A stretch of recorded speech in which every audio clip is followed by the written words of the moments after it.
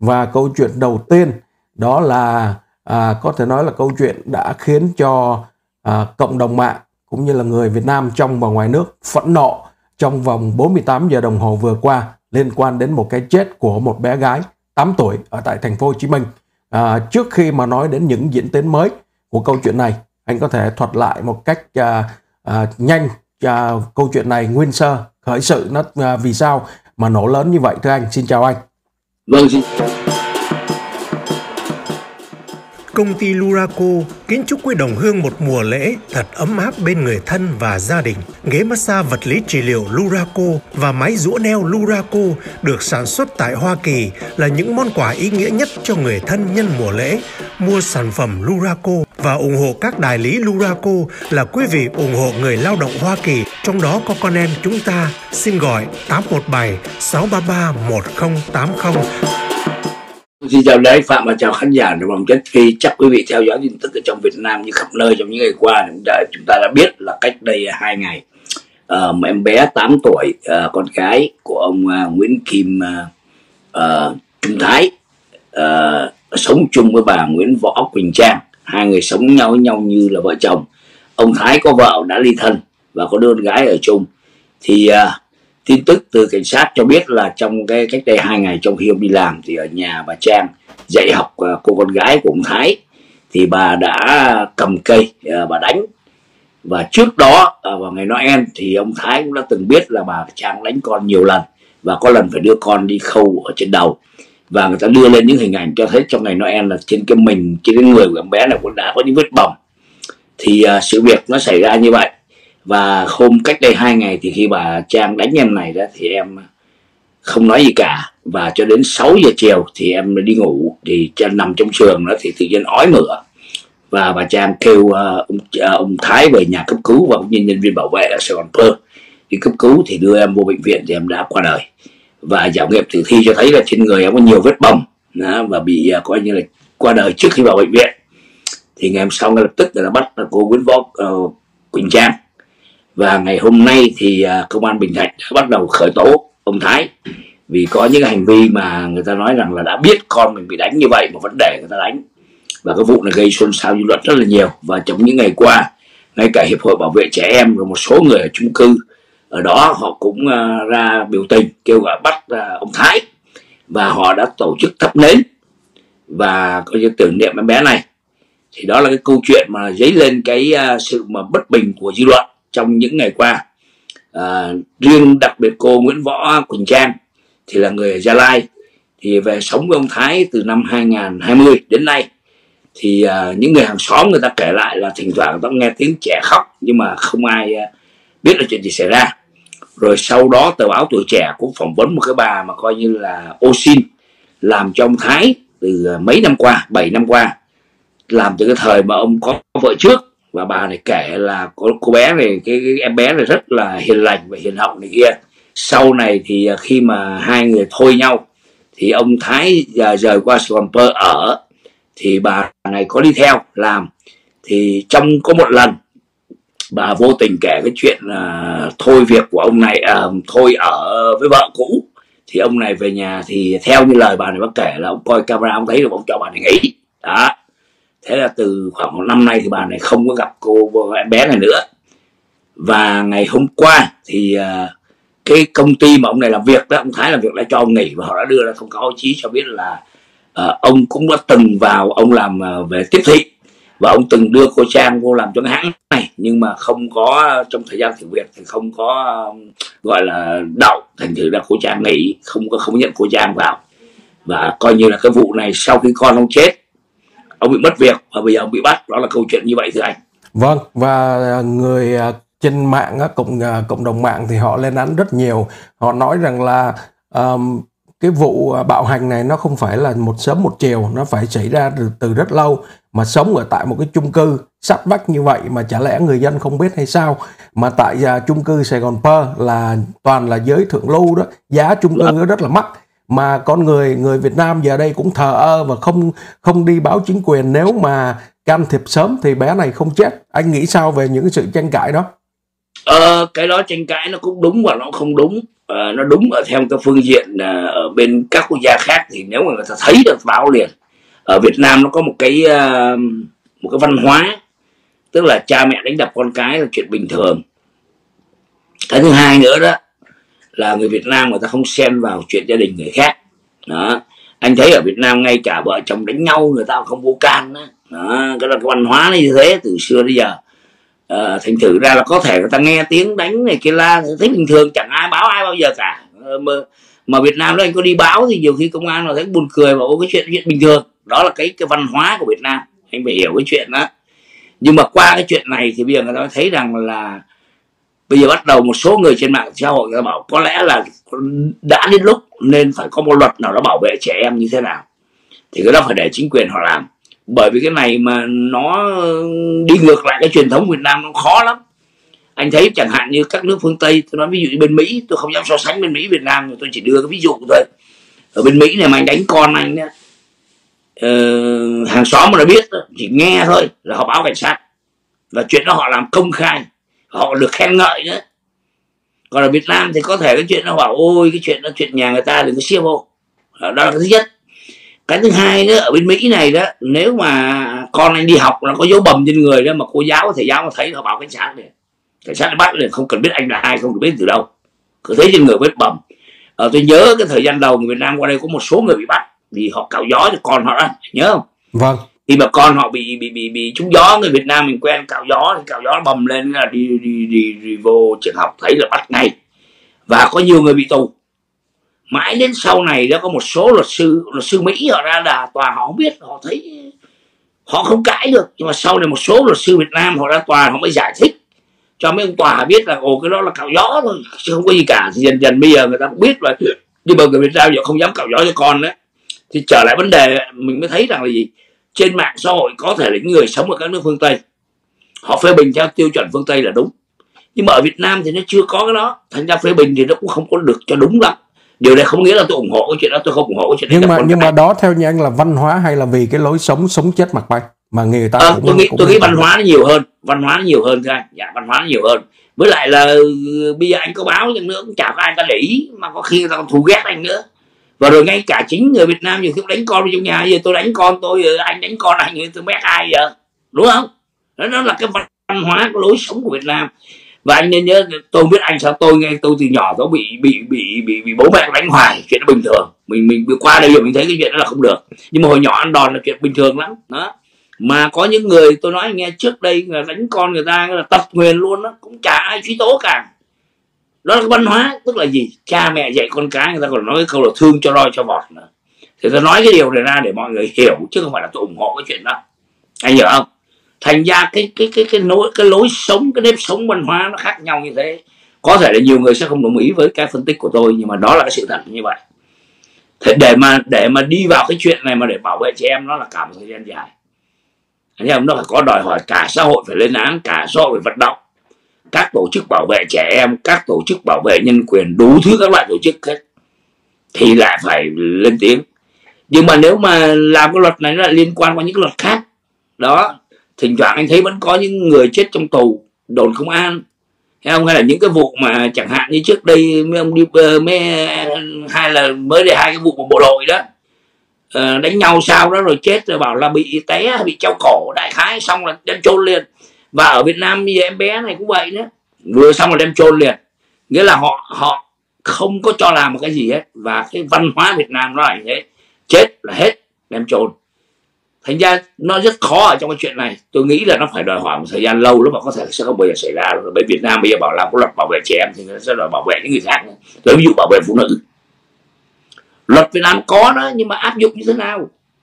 Đó là cái chuyện khác, anh thấy không? Thành ra tôi nghĩ phần lớn là do cái văn hóa và lối sống còn cái sống chết mặc bay có thể nó có một phần nào thôi nhưng mà cái đó nó không phải cái chính theo cái nhìn là như vậy rồi Vâng, nhưng mà nếu như vậy thì à, liệu đã đến lúc à, cần phải xem lại và thay đổi cái văn hóa đó chưa? Bởi vì giờ đây thì mà à, không Việt Nam luôn luôn tự hào là không còn là một đất nước thốt nốt như ăn thốt nốt, ăn bo bo như ngày xưa nữa. Và bây giờ ít nhiều cũng mở mang và đi ra nước ngoài học hỏi được nhiều cái tốt rồi. Thì anh nghĩ sao? Đã đến lúc thay đổi cái văn hóa đó chưa? À, tôi nghĩ không phải đã đến lúc mà nó đã từ lâu rồi, đã từ lâu rồi chứ không phải là là bây giờ. Anh nên nhớ là Việt Nam thống nhất là 46 năm rồi thấy chưa? Bây giờ ờ, khó khăn trước đây còn nói là ồ vì khó khăn kinh tế vì chiến tranh rồi này kia các thứ. Bây giờ thì không thể đổ thừa nó nhưng mà một lần nữa nó có những luật bảo vệ trẻ em chứ phải không. Việt Nam có hết nhưng mà để áp dụng như thế nào thì tôi thấy nó chưa áp dụng. Và bây giờ anh bảo là để mà đã đến lúc thì nó đã từ lâu rồi nhưng mà áp dụng rất khó rất khó. Nhưng mà tôi nghĩ cái này nó liên quan đến những người là làm chính sách thì nhiều hơn. Tôi nghĩ tôi và tôi hiểu tôi tuyên, đồng ý và cách tuyên truyền nữa. Bây giờ tôi chỉ đưa đơn giản cho anh một cái ví dụ thôi. Rất nhiều người Việt Nam trong nước chứ đừng nói là Việt kiều lên án cái việc là văn hóa người Việt khi mà đi cầu thang máy đó. Dạ. không, ở đây khi mà nước ngoài á, anh đi cầu thang máy. Anh đang đợi cái cầu thang máy mở ra anh phải đợi cái người ở bên trong đi ra ngoài anh mới vô được đúng không? Đúng rồi nhưng mà đúng trong rồi. khi đó ở Việt Nam đó cái cửa vừa mở ra là người ở ngoài đã đi vô mà người chỉ ở trong chưa đi ra nữa. Lên Vâng. án rất nhiều nhưng tôi thấy vẫn truyền hình và báo chí không bao giờ làm những cái gì liên quan đến những cái show hay hài kịch hay là thậm chí những chương trình để tuyên truyền cho người dân từ những cái điểm yếu cái việc nhỏ đó thôi. Chứ đừng nói chi cái việc mà đánh con nít này. Thưa anh là bởi vì ở Việt Nam nó không có nghĩa là họ chế. không quan tâm đến cái vấn đề là chính sách những cái chính sách tôi tôi vừa nói ra.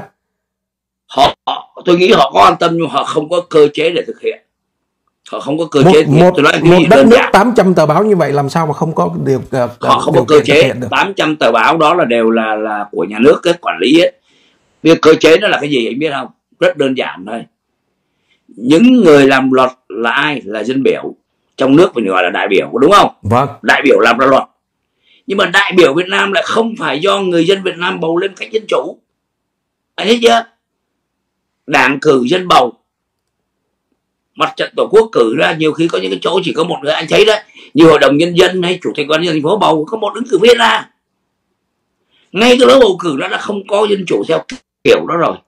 Thì làm sao anh ảnh hưởng được? Anh theo nếu bây giờ các vị dân cử, các vị đại biểu của Việt Nam do người dân ở địa phương trực tiếp bầu lên giống như bên Mỹ hay các quốc gia khác, thì thưa anh, người ta sẽ vận động được. Không cần báo chí. Báo chí quăng thùng rác. Không cần trong chuyện này không cần báo chí luôn báo chí chỉ đưa tin không cần báo chí vận động. Chỉ cần đó, cái vụ mà các em này ở Sài Gòn Pơ chết vậy bao nhiêu người dân ở thành phố họ sẽ gọi điện thoại họ sẽ vận động các ông dân biểu ông đại biểu đó bà đại biểu đó để làm sao phải lên tiếng cái chuyện này. Họ sẽ ra quốc hội họ làm rùm beng lên. Anh nhớ không? Việt Nam không có cơ chế đó. Quốc hội nằm họp hai lần thôi. Nó phải như ờ, những nơi khác thành thử ra thì anh không phải chỉ Việt Nam mà rất nhiều quốc gia trên thế giới. Người ta thấy nhiều cái điều sai lắm nhưng mà người ta không làm được là bởi vì nó không có cơ chế đó. Anh thấy không? Bởi vì sao? Như Việt Nam nói ô những cái cơ chế này chúng tôi, những cái chuyện này chúng tôi chưa cần. Chúng tôi đang lo cái chuyện khác quan trọng hơn. Ổn định an ninh đất nước. Thấy chưa? Bảo vệ làm sao mà đất nước ổn định. Không bị phá hoại. Bà con có công an việc làm tôi nói thẳng luôn thỉnh thoảng vài ba đứa trẻ chết ăn thua gì so với cả 100, gần 100 triệu dân sự nghiệp của cả nước. Nó không thay đổi. Bây giờ tôi giả sử Việt Nam mà có cho bầu mấy ông đại biểu bà đại biểu cách dân chủ đi. Đúng không? Các địa phương giờ ví dụ như Bình Thạnh này đó cái vụ Sài Gòn Pơ là Bình Thạnh nè. Cái ông chủ tịch hay là các bà chủ tịch hội đồng nhân dân do dân trực tiếp bầu lên tôi bảo đảm anh sự vụ này là tới luôn bảo đảm không những sự mà họ ra họ quốc hội Việt Nam họ đại diện họ sẽ giới thiệu những cái dự luật để làm mạnh những cái chuyện này luôn. Hàng xóm mà không báo cáo là cho đi tù luôn ví dụ vậy đấy. Ở bên Mỹ nó có nha từ anh ví dụ ở California nó có gọi có, có cái luật là Samaritan Law đó. Samaritan Law cái là gì? Anh ra đường anh thấy một cái chuyện gì sai. Ví dụ anh đứng anh bên này mà anh thấy nhà bên kia đánh con nít mà anh không báo anh có lỗi luôn. Mỹ nó có ở California nó có Vâng. luật Việt Nam có luật đó. Thì trở lại vấn đề với anh là ai cũng thấy hết chứ phải là không thấy. Nhưng vấn đề thực hiện Việt Nam không có cơ chế để làm những chuyện này. Bây giờ 100 tờ báo 800 tờ báo 80 ngàn tờ báo cũng nói vô ích. Nói vô ích. Cái vấn đề cơ chế thành ra tôi, tôi, như tôi nói khi nó có cơ chế để làm luật chẳng cần báo chí luôn. Anh thấy chưa? Đội người dân người ta thấy những cái chuyện như mấy ngày nay là bảo đảm với anh. Tôi nói ví dụ như cái ông tôi không biết đại biểu bình thạnh người đại biểu quốc hội là ai tôi chưa thấy lên tiếng. Bởi vì cái người đó họ không có trách nhiệm với cử tri. Cái người đó là do mặt trận tổ quốc đưa xuống mà thậm chí không ở địa phương đó luôn. Anh thấy không? Tôi nói anh nghe ví dụ chủ tịch nước của dân phúc đó ông ở ngoài hà nội nhưng mà ông đại diện ông là đại, đại biểu của thành phố thấy buồn cười không? Tức là ở những nơi khác đưa về làm đại biểu đại diện dân vùng đó. Họ có biết gì đâu mà đại diện. Nó nó không có cơ chế để làm cái chuyện đó thành ra, thưa anh, người ta thấy hết đó, nhưng mà Việt Nam, có thể chính quyền Việt Nam cho, ồ, chuyện này là cũng sai đó chứ phải không? Nhưng mà thôi, chuyện này nó không quan trọng cái chuyện ổn định đất nước. Vì 100 triệu dân, vì cơ đồ của đất nước, thôi những cái chuyện này bỏ qua. Thế không? họ cũng có thể họ lên tiếng, vớ vẩn chơi cho có lên tiếng, nhưng mà làm luật ra luật để bảo vệ, hay là thực hiện cái luật đó, chưa có. Bởi vì không ai ép họ cả, bởi người dân không làm gì được họ cả. Bởi vì người dân không bầu trực tiếp những người này lên hoặc là những người này đưa được ở trung ương đưa xuống mặt trận tổ quốc đưa xuống họ không ai để bầu bầu con người nữa đó đại khái thế. Thì nó không vấn đề là cơ chế thôi. Vâng. À, như trên màn hình quý vị thấy à, tờ báo người lao động cho biết là công an quận bình thạnh đã bắt khẩn cấp ông nguyễn kim trung thái cha ruột bé gái bị bạo hành. À, và ai cũng biết là trước đó công an đã bắt khẩn cấp bà nguyễn võ quỳnh trang à, người à, có thể xem là mẹ kế hay là gì ghẻ đó đã à, làm cho em bé này chết. Thì à, cái câu hỏi giờ đây đặt ra đó khi mà anh nói vậy chắc chắn sẽ có người nói ngay cả bây giờ hai người này bị xử thật nặng thậm chí là mức cao nhất trung thân hay tử hình đi nữa. Nhưng mà không có làm những chính sách hay là thay đổi những cái cái điều như anh nói đó. Cuối cùng cũng như không thôi nó cũng chỉ là một cái vụ xử bề nổi thôi. Chứ chứ anh không làm thay thay đổi cục diện được. Anh nghĩ sao chính xác liều nó là chính xác. Và tôi bảo đảm anh sẽ còn trẻ em bị bị hành hạ nữa trong những ngày tới. Sẽ còn đứa con dễ dãi. Và điều đó là rất bình thường ở Việt Nam. Ngay cả là bây giờ xử tử hình hai người này cho cũng cư dân mạng họ họ cảm thấy là ok. Anh xử đúng đi nhưng mà không thay đổi ừ. được không thay đổi không được. thay đổi bởi vì sao nhưng mà cái người ta cần là cái thay đổi. Vâng và người ta sẽ không thay đổi được bởi vì nó có hai cái chuyện đây như tôi nói. Thứ nhất là về cơ chế anh không có cơ chế để thay đổi, để áp lực chính quyền để làm cái chuyện đó. Điểm thứ hai là lối sống và văn hóa. Cái lối sống và văn hóa nó được duy trì cả mấy ngàn năm nay. Anh thấy tôi không biết với nước khác sao Việt Nam có câu là thương cho roi cho vọt, ghét cho ngọt cho bùi tức là ngay trong ca dao đã có cái câu đó, thương cho roi cho bọt tức là chấp nhận cái chuyện đánh con. Thấy không? Và anh thấy ở Việt Nam từ xưa tới giờ, anh thấy những cái cảnh mà mà tôi nói không phải chỉ Việt Nam mà ngay cả Đài Loan và Đài Hàn, Nhật cũng vậy luôn tôi đã từng chứng kiến người Nam Hàn bị cấp trên bập tay đánh ngay công khai luôn, mà cấp dưới chỉ có đứng cúi đầu rồi đó là văn hóa, là lối sống của châu Á. Nghe không? Không phải chỉ Việt Nam nha, mà cả nước khác, các nước khác ảnh hưởng đau khổng lại không được cãi lại cha mẹ. Và cha mẹ có quyền với con cái, đặt đâu con ngồi đó à quý vị nghe cái bảo dũng này xưa rồi nhưng mà thưa quý vị dù xưa mà nó vẫn còn hiện hữu trong các xã hội như xã hội Việt Nam cho đến ngày hôm nay nó vẫn còn. Điều nó không lộ ra thôi. Thấy không? Bây giờ nó đang thay đổi nhưng mà đối với trẻ em đó cái chuyện cha mẹ đánh con nó được nó coi là một điều mặc nhiên. Tất nhiên không ai nói rằng là ô khuyến khích đánh con cả. Nhưng mà thấy người khác đánh con là chuyện bình thường. Anh à, không?